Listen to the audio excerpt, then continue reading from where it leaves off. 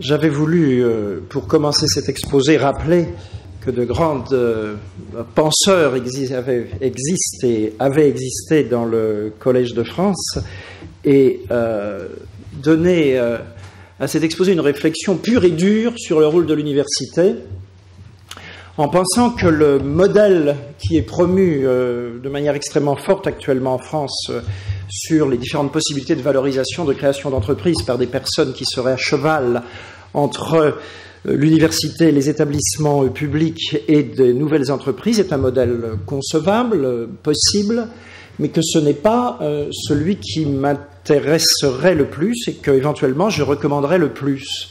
À tel point même que, pensant à Bourdieu, je vivais les choses en trouvant qu'au fond, certaines parties du monde pouvaient être considérées comme euh, difficiles à supporter et posant peut-être la possibilité de s'indigner. Alors je vais m'indigner discrètement devant vous, euh, d'autant plus qu'il est apparu au cours de cette réunion une chose qui m'a beaucoup frappé, c'est que les différents orateurs avant moi, quand ils expliquent leur travail, font aimer leur travail. C'est la, leçon que j'en ai connue de, de tous.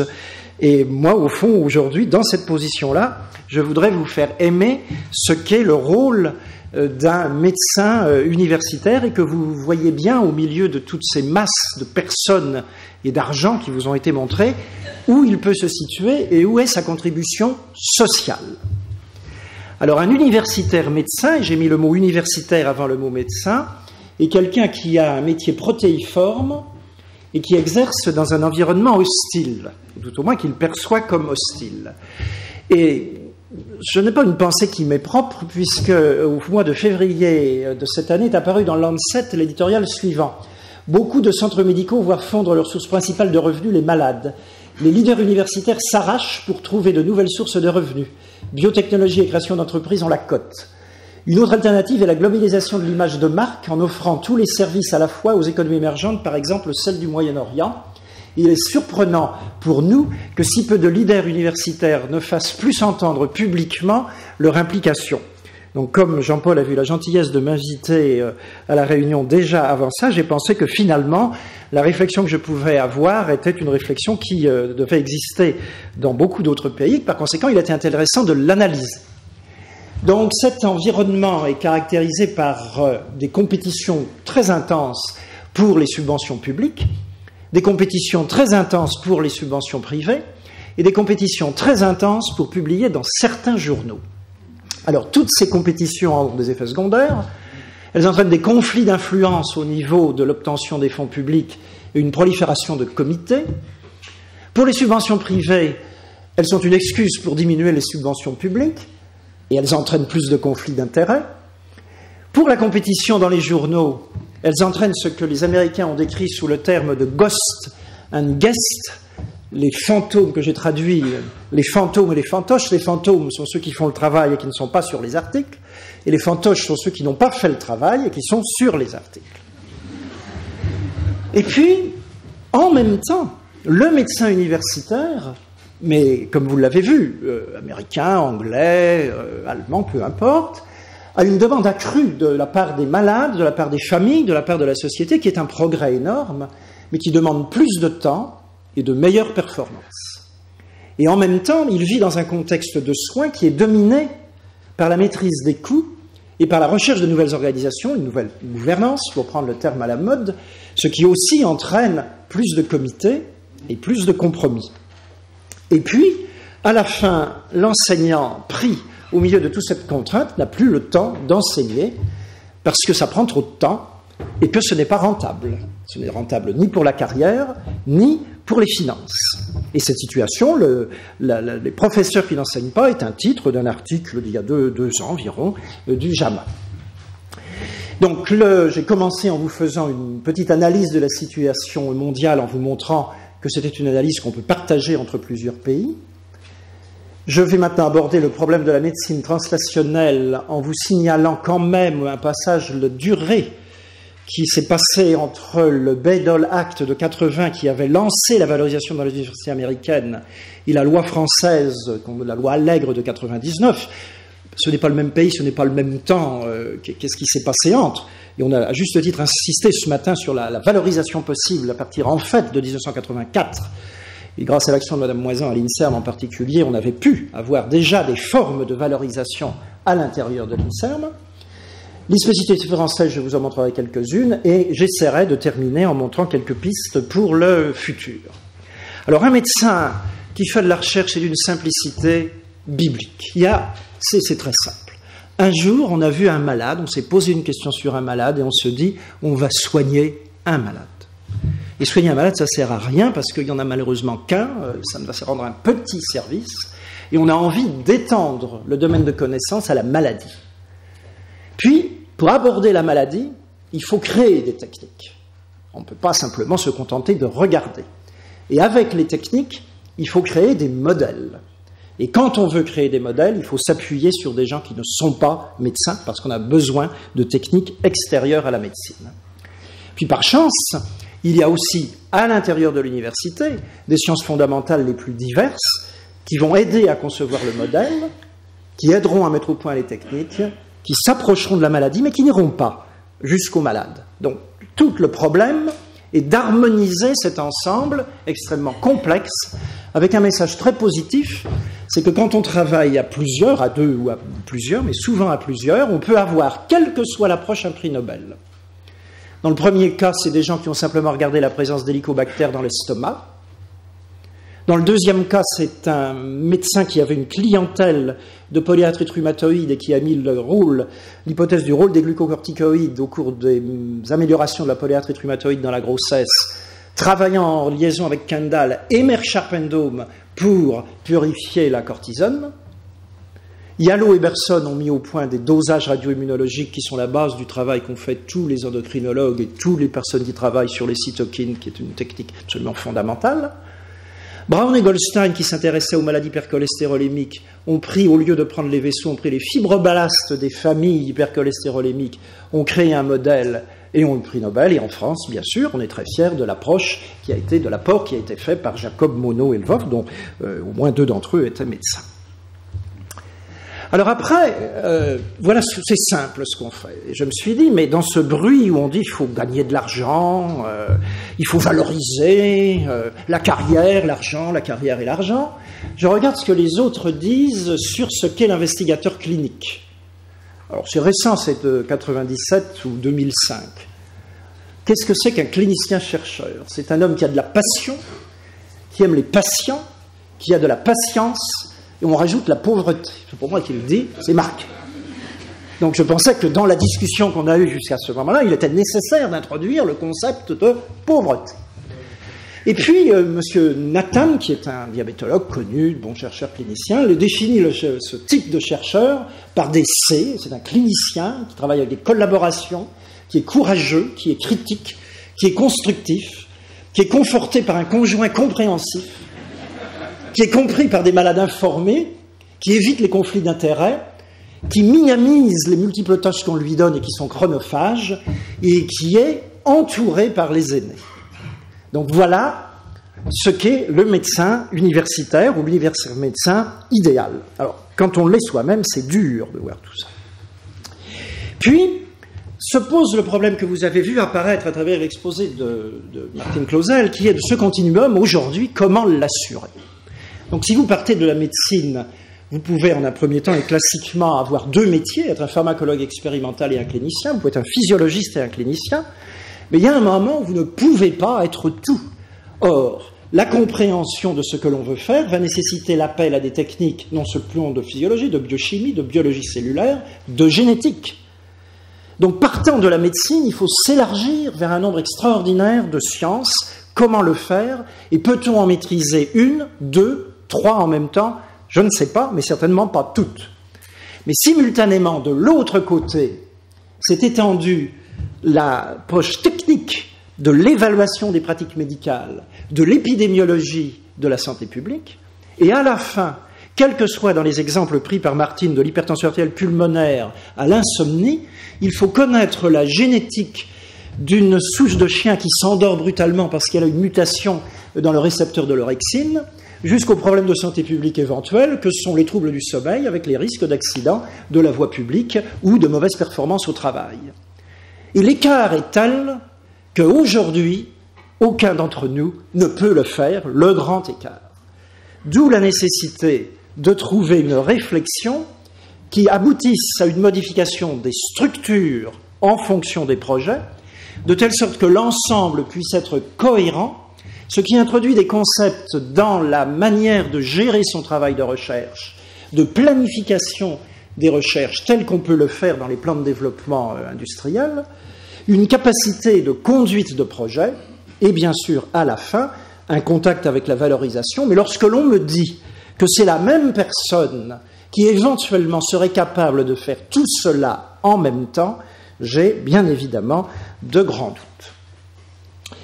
Donc, une des questions très importantes pour la France, c'est de savoir si l'on développe dans ce contexte difficile une vision par projet, des grands projets, ou une vision par structure des grands projets. Je vois M. Flau qui est là. La, France, euh, finalement, l'une des premières entreprises de biotechnologie en France, on, dit toujours Amgen, on dit toujours Genentech, on aurait pu commencer par Pasteur ou Mérieux. Une entreprise de biotechnologie, euh, bien sûr, elle est bien intérieure à 1980, mais on l'a un peu oublié. Mais enfin, ça commence comme ça.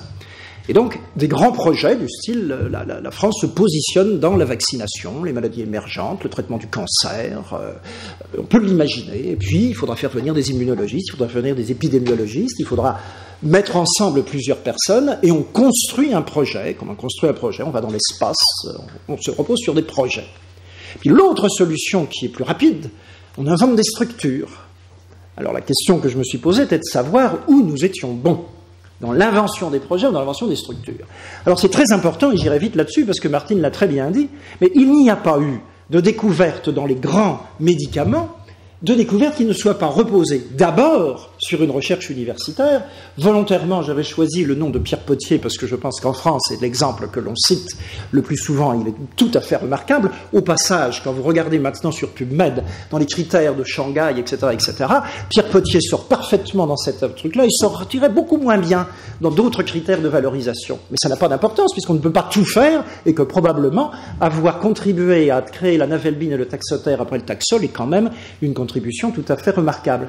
Qui tout à fait en haut, je ne les détaillerai pas tous, mais je vais prendre Eugène Goldwasser, parce qu'il me rappelle un peu mon ami euh, Corvol, quand Pierre Corvol était parti après la purification de l'enzyme de conversion pour essayer de trouver les séquences qui permettraient le clonage de l'enzyme, avec le travail qui avait été fait avec Alain Gelas et Soubrier. Goldwasser était le premier qui avait passé toute sa vie à purifier l'érythropoïétine. Et la séquence de l'érythropoïétine permettait le clonage, permettant le clonage, permettait la création de Amgen. Et il a passé 40 ans de sa vie à faire ça. Et en 2000, un peu avant sa mort, on lui a dit, mais dites donc, qu'est-ce que vous avez gagné avec Amgen? Il dit, non, non, j'étais consultant, j'avais 30 000 dollars pour mon laboratoire par an. Et on lui dit, mais vous le regrettez pas Ou, oh, Il dit, non, moi, si j'avais eu plus, j'aurais changé ma paire de chaussures, mais euh, euh, voilà. Donc, ce, point-là est absolument fondamental. Et dans notre domaine, je vais passer, c'est la même chose, Martine a donné des exemples. Alors, il faut bien voir la différence qu'il y a entre la pub que l'on peut faire, euh, euh, qui a eu existé à un certain moment. La bulle existe, et je pense que pour les investisseurs, ils rencontrent souvent des chercheurs qui parlent, et pas toujours des chercheurs qui travaillent, et encore moins souvent, bien sûr, les chercheurs qui trouvent, c'est le plus difficile. Et puis, euh, la simplification est quand même de temps en temps outrancière, et ceci n'est pas, j'insiste bien, la pipe, je crois qu'on s'en moque ici, mais ceci n'est pas un médicament. Alors la France a choisi, elle a fait au cours des dernières années des, plus de structures. Moi, je, je pense qu'il faut se battre contre M. Nicolas Bavrez avec ce langage qu'on dit toujours, la France en retard, avec ces vieux professeurs d'université qui bloquent le système, etc. J'ai entendu, je connais, mais ce n'est pas ça. Euh, on, sait ce qu'il faut faire. D'ailleurs, on paye assez cher des gens qui font d'excellents rapports. Et le dernier rapport de la Cour des comptes, euh, avec cinq conseillers maîtres, deux conseillers référendaires, un auditeur, trois rapporteurs et le président de la Chambre, a fait un excellent rapport.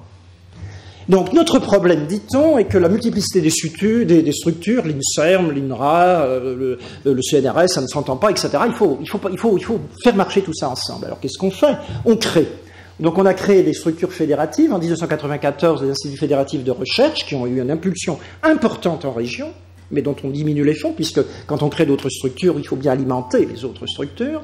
On a créé le réseau des génopoles avec les contributions importantes de la génopole d'Ivry. Puis on a créé les sept cancéropoles, mais détachés au niveau de l'INCA, qui entre-temps avaient été créés, et qui seront sans doute suivis de neuropoles, de gérontopoles, etc. Puis à partir de 1998, on a créé les réseaux de recherche et d'innovation technologique, RRIT, Génaminal, Génoplan, Technologie pour la santé, Innovation, Biotechnologie. Puis à partir de 2004, on a créé les pôles de compétitivité, sept projets en biologie, nutrition, santé sur les 67 pôles de compétition. Puis en 2006, on a fait les pôles de recherche et d'enseignement supérieur, les presses, qu'il faut bien ne pas mélanger bien sûr avec les RRT, les réseaux thématiques de recherche avancée RTRA qu'il ne faut pas mélanger avec les presses, et les centres thématiques de recherche et de soins qui viennent juste d'être annoncés. Alors, moi je suis perdu, mais je pense que c'est important que vous gardiez bien ça en mémoire, et j'espère que vous le garderez euh, en mémoire. Donc, il y a une réponse par structure, les meilleures structures se dotant d'emblée et en premier d'une cellule de communication et d'une cellule de relations internationales. Alors, dans ce contexte, il faut être extrêmement sérieux et il faut savoir ce que l'on veut faire et ce que l'on fait. Alors, très clairement, le médecin universitaire, dont j'espère vous avoir situé le contexte national et international, doit d'abord s'efforcer d'apporter une contribution originale ou utile aux connaissances sur la santé. Il doit augmenter la quantité et la qualité des connaissances d'un groupe d'étudiants, reconnaître les plus aptes à la recherche et les aider à organiser la formation sur 5 à 10 ans. Ça prend du temps. C'est difficile et c'est capital parce que c'est à travers ça que sont formés les chercheurs, les médecins et les pharmaciens des industries de la santé. Si cette partie-là s'effondre, dix ans après, il n'y a plus personne. Il faut adapter en permanence les structures d'enseignement et de recherche aux évolutions des techniques, des connaissances et de la société. Avec Pierre Corvol, on a travaillé sur la création des centres d'investigation clinique. Ça a commencé en 1980, ils ont été créés en 1992. Pour modifier les structures de recherche de l'assistance publique sur les unités de recherche clinique, on commence en 1992, il faut arriver en 2002 pour le faire. Donc il faut faire évoluer quand même des structures sans en créer des structures qu'on ne suivra plus après. Il faut concourir aux expertises collectives en toute transparence et en toute indépendance et des pouvoirs publics et des entreprises, et c'est une autre tâche du médecin euh, universitaire, et il faut bien sûr améliorer la qualité de vie des patients et la qualité du système de soins. Alors s'il y a une place pour des tâches supplémentaires où l'on deviendrait chef d'entreprise, je serais heureux de rencontrer la personne qui, ayant d'abord fait ce pour quoi il est payé, aurait pu faire d'autres tâches. Et l'autre chose qui est difficile, c'est d'éviter un certain nombre de tentations. Alors les tentations du médecin universitaire sont les suivantes. Il peut être le co-auteur d'études multicentriques dont il n'a généré ni l'hypothèse, dont il n'a pas écrit le protocole et il n'en a ni vérifié ni travaillé les résultats. Il peut utiliser ces publications à des fins de promotion universitaire et bientôt de promotion hospitalière dans le cadre d'une nouvelle formule qui est celle des mairies peut donner des conférences dans des programmes orientés vers la promotion de médicaments ou de dispositifs médicaux sans avoir jamais travaillé ni sur le médicament ni sur le dispositif. Il peut s'efforcer d'être membre, puis secrétaire, puis vice-président, puis président de plusieurs sociétés savantes. Il peut accepter de siéger dans les multiples instances qui ont été créées, conseil d'administration, conseil scientifique, etc., et sans rendre le service que les autres demandent, puisque s'il a pris ce cumul de fonctions, c'est qu'il y avait lui-même, pensait-il ou pensait-elle, un intérêt personnel. Et il peut promouvoir les résultats de la connaissance personnelle avec un objectif non déclaré de bénéfice financier ou social. Donc l'attitude qui consiste à redéfinir avec fermeté une université indépendante, collaborant, comme l'a très bien montré Martine avec les industries, est absolument essentielle pour la survie de notre pays. Alors, les suggestions que l'on peut faire sont les suivantes. Il faut cesser de créer des structures transversales qui sont initiées par des opportunismes ou qui confondent des collaborations de recherche et l'aménagement du territoire. Il ne faut pas faire croire que l'incubation, la création de jeunes pousses soit le plus indispensable à des activités institutionnelles qui sont déjà trop dispersées et insuffisamment réalisé. Il faut faciliter les contrats de recherche pluriannuels entre des industries de toute taille, de toute localisation, toute taille et toute localisation, et des universitaires médecins sur la base essentielle des complémentarités de recherche, le plaisir de travailler ensemble. Il faut faciliter les formes de mobilité à toutes les étapes de la vie professionnelle, Et enfin et surtout, il faut grouper la valorisation des recherches publiques dans un guichet unique pour les personnels dont les carrières et les activités de recherche dépendent simultanément de plusieurs structures, de telle sorte qu'on ne passe pas un temps énorme à savoir si la découverte éventuelle va dépendre de l'université, de l'hôpital, de l'établissement public de recherche, etc., étant donné que les gens sont obligés d'avoir plusieurs casquettes à la fois, puisque les financements viennent de plusieurs, euh, de plusieurs origines. Alors, c'est faisable, il fallait trouver un modèle. Voilà, j'ai regardé, beaucoup de, gens, j'avais même des amis que j'aurais pu mettre finalement euh, en modèle. Je crois qu'un très beau modèle est celui euh, de James Shannon, qui est connu en physiologie rénale, puisque sur les mesures d'éclairance, la concentration dans le rein, il avait fait une contribution importante entre 1931 et 1941, quand il travaillait en physiologie rénale à l'université de New York. Puis, pendant la guerre, avec le besoin de développer des médicaments contre le paludisme, il a travaillé sur test, les tests chez l'homme de nouveaux médicaments euh, contre, la, malaria.